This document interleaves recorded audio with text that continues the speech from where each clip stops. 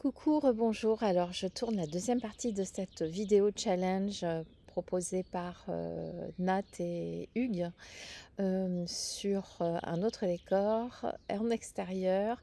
J'ai vérifié, on voit encore mieux les cartes. Et puis, je trouve que ça change. Ça fait du bien de profiter du soleil. On n'en aura pas toute la semaine. Alors, même si vous regardez cette vidéo mardi, mercredi où ils ont prévu de la pluie, vous aurez un petit peu de soleil de chez moi. Euh, les prochains jeux que je voulais vous présenter dans la série euh, Mes jeux oubliés, euh, c'est, je vais commencer par celui-ci, Les anges de l'Atlantide. J'adore ce jeu. Je l'ai acheté il y a longtemps et je, je l'ai laissé tomber. Alors que franchement, eh bien, il y a tous les archanges que j'adore. Euh, des bordures noires, donc euh, ça me plaît aussi, même si je préfère sans bordure. Et puis de très jolis messages dans le guidebook, même s'il est petit, euh, de très très jolis messages et, vraiment des, belles cartes. Et puis, quand j'ai envie de me connecter à l'énergie d'un archange, j'ai toujours eu grand plaisir à utiliser ce jeu que je redécouvre. Alors, euh, le même archange revient plusieurs fois, mais avec différents types de messages. Et c'est ça aussi qui est très intéressant, c'est qu'on explore les différentes facettes de l'énergie que peut nous proposer un archange. Métatron.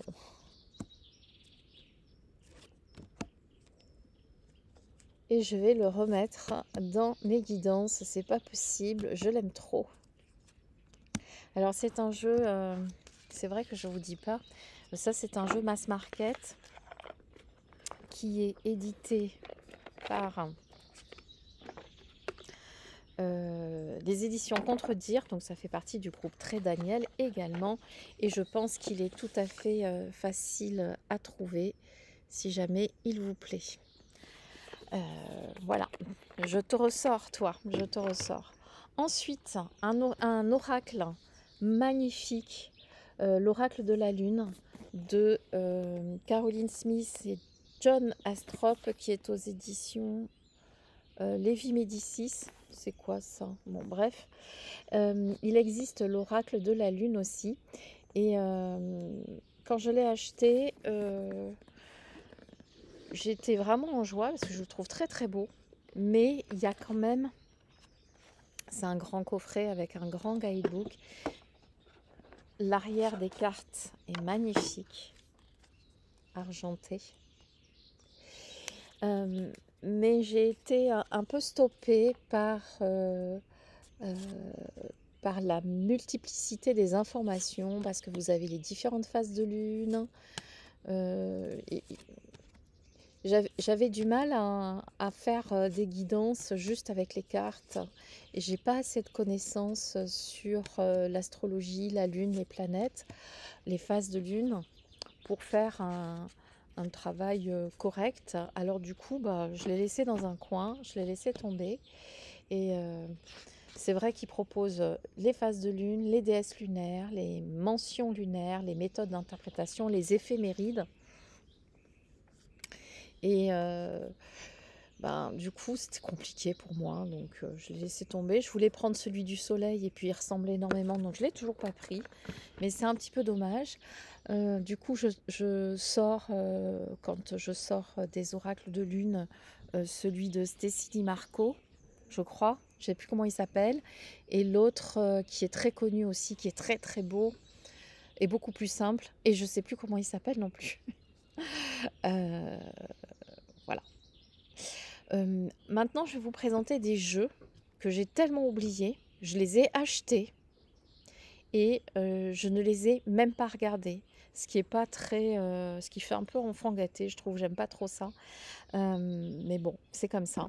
Notamment le premier, c'est l'oracle de la lumière blanche d'Alana Fairchild, que j'avais vu en review, que j'avais trouvé magnifique. Donc, euh, je me suis procuré. Donc, euh, toujours aux éditions Exergue, que j'ai trouvé magnifique, vraiment. Et euh, là, je suis vraiment pas fière parce qu'il y a encore il y a encore la protection, voilà, en papier. Ce qui fait que je ne l'ai même pas ouvert. Et voici les cartes. Alors, ce sont des cartes mates en plus, que j'aime bien. J'avais adoré ces cartes que j'avais vues en review. Là, elles sont encore collées.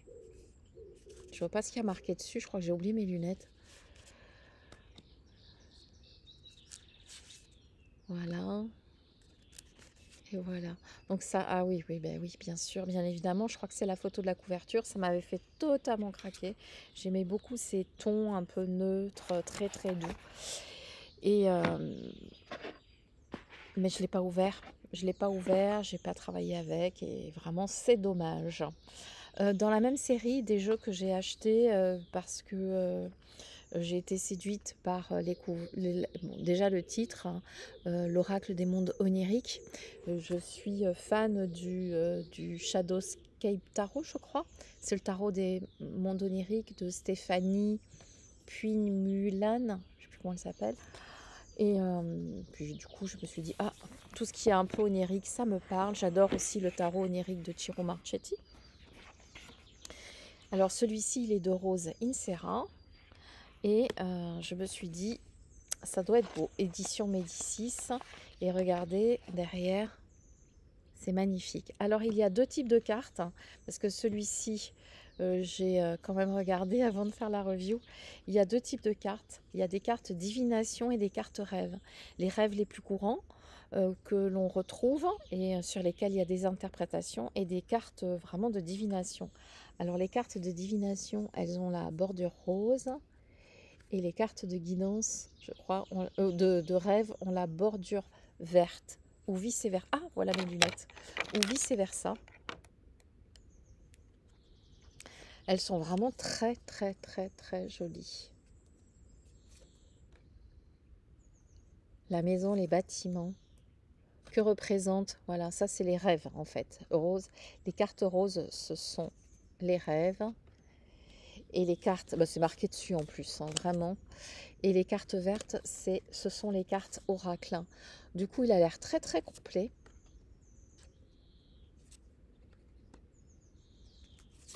Et je vais me faire un plaisir de le découvrir, de lui laisser euh, sa chance de vivre dans euh, mon quotidien. Euh, tout ça sont des jeux de mass market qui sont quand même à des prix assez raisonnables que vous pouvez trouver aussi facilement. Alors un jeu que j'ai complètement oublié, que j'ai acheté il y a très très longtemps, c'est la quête du cinquième royaume. Alors le chiffre 5, c'est aussi quelque chose qui me plaît beaucoup. Euh, la quête du cinquième royaume, euh, euh, c'est, ça parle du cinquième élément. Vous savez, on parle de la terre, de l'eau, du feu et de l'air. Et moi, j'étais partie du principe que le cinquième élément, c'était les terres, comme dans la dimension akashique mais euh, je pense que ça concerne plutôt euh, tout ce qui est euh, de l'ordre de, la nature et des élémentaux, qui pour moi n'est pas le, enfin qui peut être le cinquième royaume, mais j'étais partie sur le cinquième élément, donc je me suis trompée. J'avais vu ce coffret, je l'avais trouvé absolument magnifique. Il est gros aussi. Hein. le, le, guidebook est énorme. Il y a vraiment un gros travail sur les élémentaux qui est fait. Les cartes sont assez magnifiques aussi. Euh, alors par contre, j'aime pas ce genre de choses.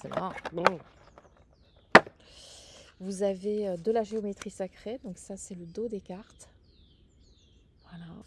Vous avez de la géométrie sacrée. Je me demande si je vais pas devoir euh, tourner. Non, on voit bien les cartes. Avec les solides de Platon. Ça, j'ai reconnu la croix. La croix hermétique l'orchestre. Voilà. Aussi, là, il y a deux types de cartes. Le printemps. Et là, on arrive sur des cartes beaucoup plus figuratives. Il est très beau. Avec encore des archanges, l'arbre de vie. Franchement, il est beau.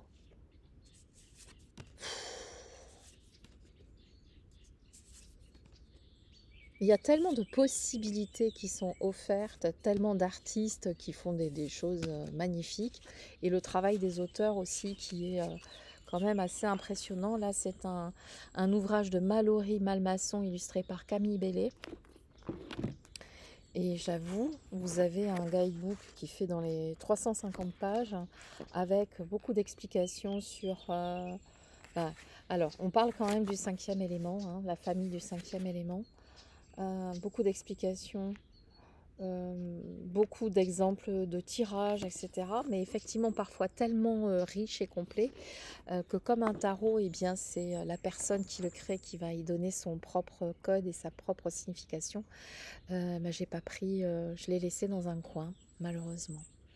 Alors, autre jeu que je n'ai pas ouvert encore, je l'ouvre avec vous. C'est un jeu que j'ai reçu, je crois, alors, de loin, hein, il vient de l'étranger, mais je ne sais plus d'où je l'ai reçu. C'est un jeu d'astrologie, parce que j'adore les couleurs et que j'avais envie d'étudier un peu plus l'astrologie. Donc ça, c'est un jeu qui vient du Canada, visiblement, de Kiko Books, London, New York. Hop. Kiko Books. Donc, je ne sais pas si vous connaissez cette maison d'édition. Voilà, donc c'est une boîte aimantée, assez grande aussi, hein, avec un livre. Hein. c'est carrément pas un, c'est un livre en dur. Euh, alors il est tout en anglais. c'est peut-être pour ça aussi. Je me suis dit on va, faire du Google Trad. Euh, il est tout en anglais, donc euh, du coup ça m'a un peu rebuté, sachant que je le savais quand je l'ai acheté. Mais bon, la boîte est assez magnifique. Et euh, je crois aussi que j'avais pris parce que ça ressemblait un peu au coffret Arcana Sacra. Vous avez une deuxième boîte, c'est une boîte cloche. I live my life in growing orbits which move over the thing of this world. Bon, bref. Et les cartes que je découvre envers vous.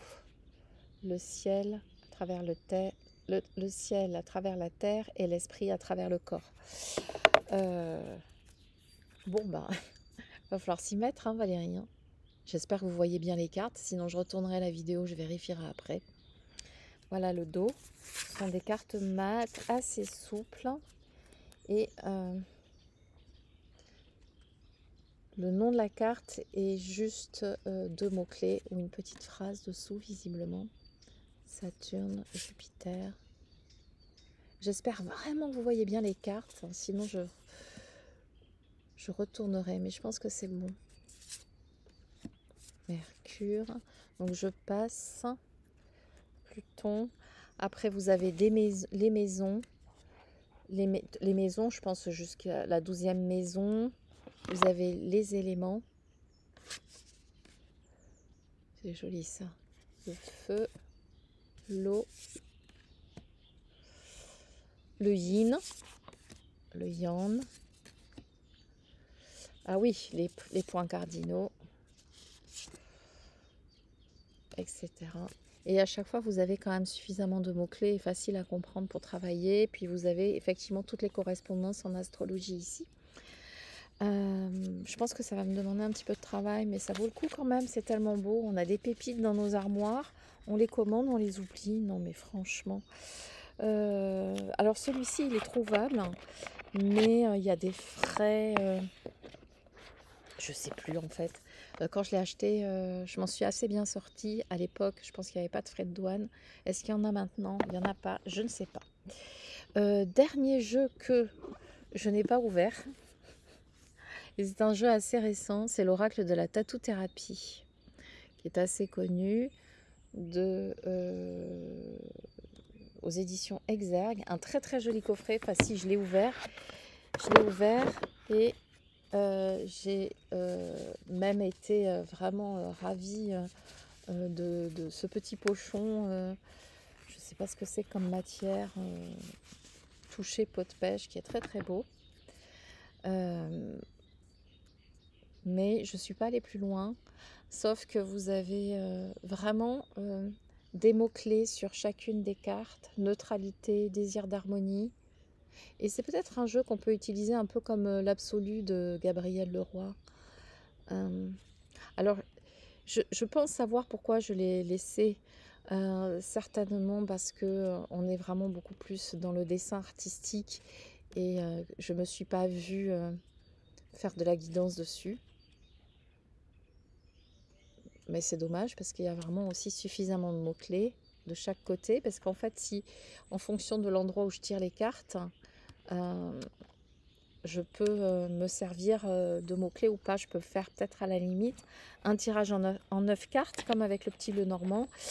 Et puis, et puis créer ma propre méthode de tirage. Enfin, je ne sais pas ce qu'il y a comme méthode de tirage dedans, puisque je ne suis pas allée plus loin que ça. Alors, ça, c'était pour des jeux mass market et j'en ai quelques-uns à vous présenter qui sont des jeux auto-publiés, qui ne sont pas forcément très connus. Alors, ça, c'est celui de Paulina Oliveira que j'ai trouvé sur Etsy, l'oracle de la magie blanche. Je ne sais pas s'il existe encore, je l'ai acheté il y a longtemps. et puis, tout mignon, il y avait une petite plume, il y avait un petit mot. Euh, pour que cet oracle soit utile à Valérie. Et, euh, un joli petit message. Merci. Et euh, des cartes qui sont toutes mignonnes. Encore des goodies, il y en a partout. Alors voici le dos des cartes avec des abeilles, l'oracle de la magie blanche. Alors j'avais vu hein, la, jeune femme qui l'a créé a dit qu'elle n'était pas super contente du résultat parce que effectivement sur les coins arrondis ça coupait une partie du mauve dessous euh, et, du coup ça m'a quand même bien servi parce que je me suis dit qu'il fallait que je sois extrêmement vigilante quand j'allais faire mon oracle à ce que tout soit impeccable. Et c'est un oracle divinatoire euh, oui non à éclaircir le panda avec tous les mots clés donc il n'y a pas vraiment de guidebook mais il y a vraiment tout ce qu'il faut même pour les débutants, l'éléphant, que j'aime tellement l'éléphant. Et tous ces animaux, super. La famille, voilà. Donc, euh, je sais pas si elle en a encore, mais si elle en a encore, il n'est pas très très cher. Et il vient de France, donc à un tarif quand même assez raisonnable. Euh, dans les jeux auto-publiés, aussi un des premiers que j'ai acheté, puis que j'ai vraiment euh, euh, mis dans une, dans une caisse de vin, dans une caisse de vin en bois. Tous ces jeux, c'est des, jeux que j'ai mis dans une caisse de vin en bois. C'est un jeu qui a été créé par une personne sur Instagram. J'ai plus son nom en tête. Merci beaucoup. Alors c'est si, c'est by Esprit Naturel. J'avais même gardé le petit sticker. Euh, je pense que je suis aussi fétichiste dans les petits goodies que euh, Sabrina. Et euh, je connaissais pas bien encore le monde des oracles et du coup quand j'avais vu passer ça sur Insta j'avais vraiment trouvé ces fleurs magnifiques. ça c'est le dos des cartes. Donc je crois qu'il est assez connu quand même. je pense qu'on peut toujours le trouver. Et euh, j'aimais beaucoup, vous avez le titre de la carte en haut, un peu en doré, et le message. Donc il n'y a pas de guidebook, c'est présenté dans un pochon. C'est fait par une artiste, je pense, que j'ai vu aussi sur Instagram. Avoir foi en l'univers. Alors c'est vraiment beaucoup plus un oracle de développement personnel. S'accepter et qui est assez euh, simple. Hein. C'est vraiment quelque chose à utiliser de manière assez simple, se sentir légitime, élever ses vibrations.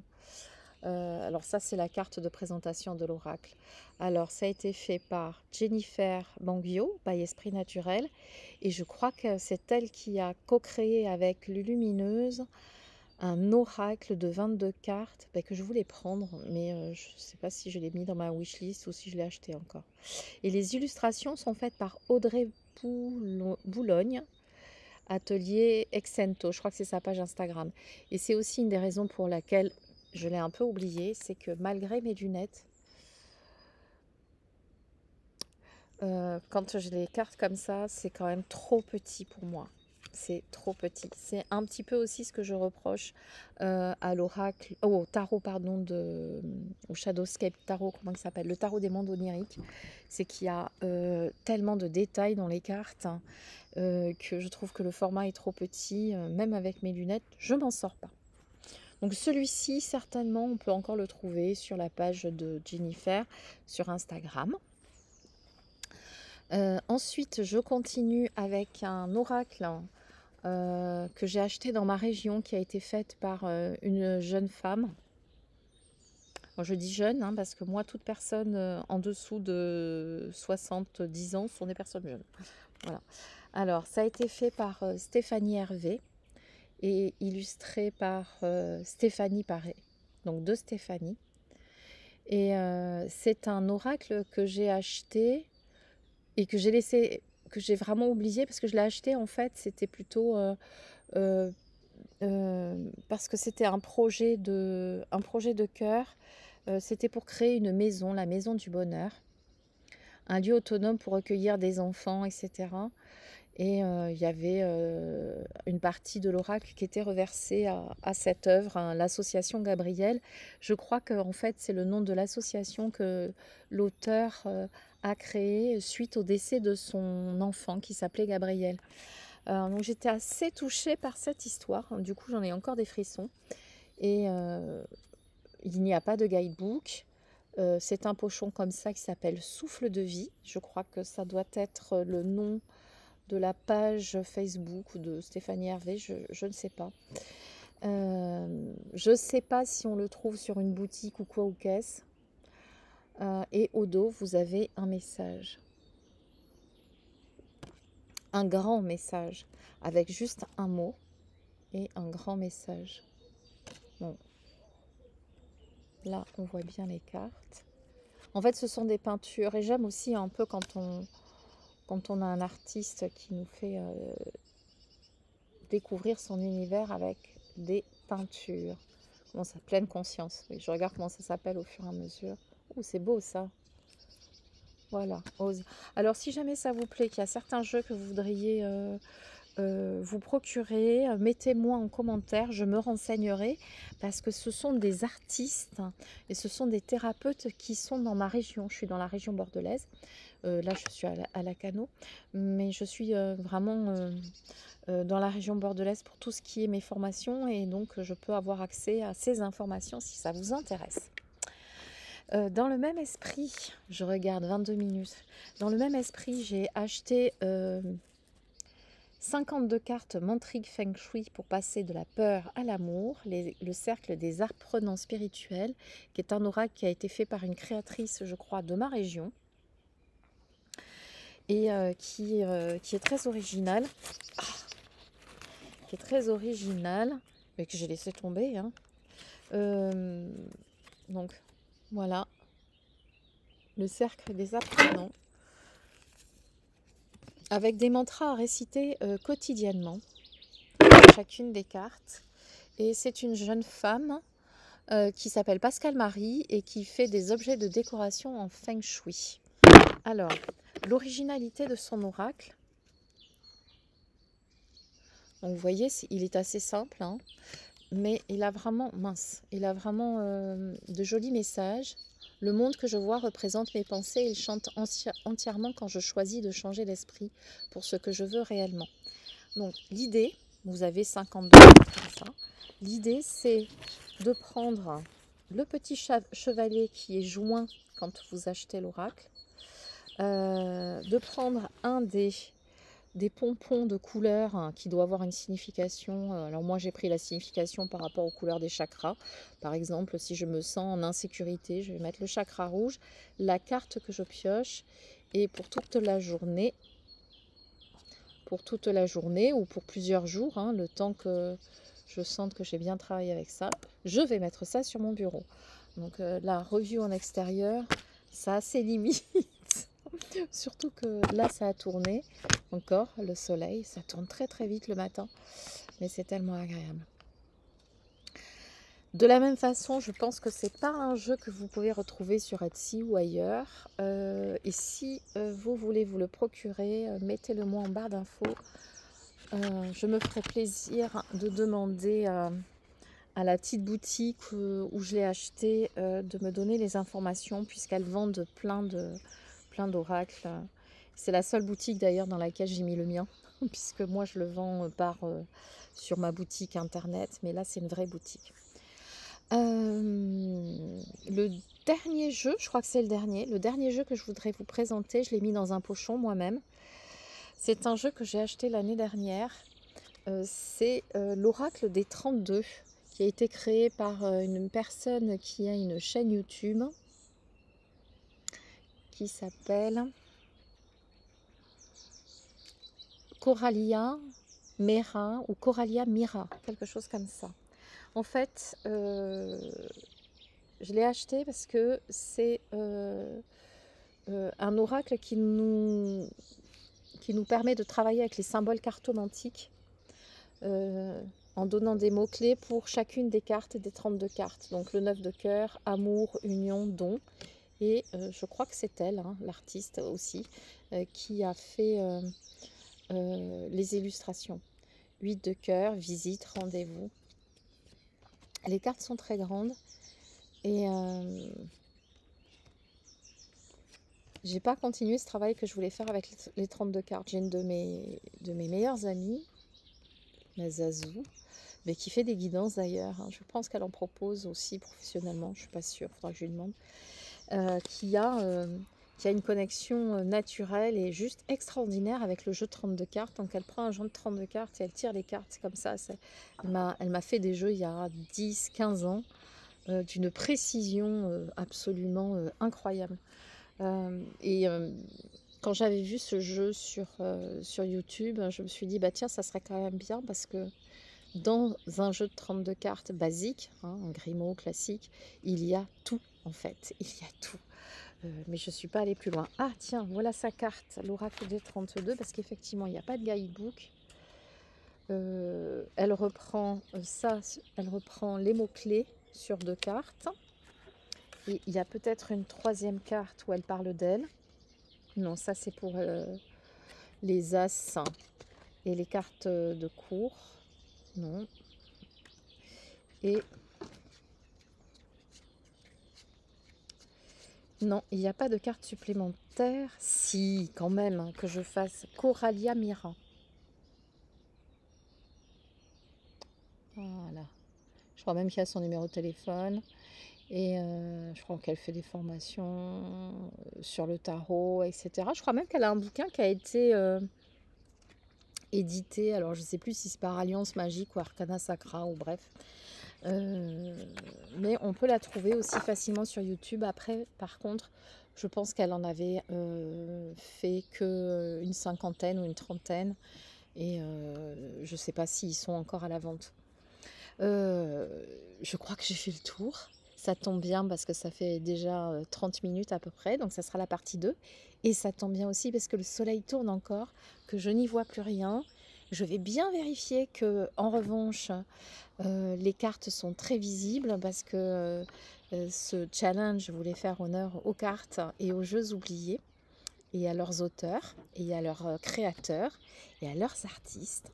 moi, j'ai passé un bon moment à faire ce challenge, vraiment un moment très agréable.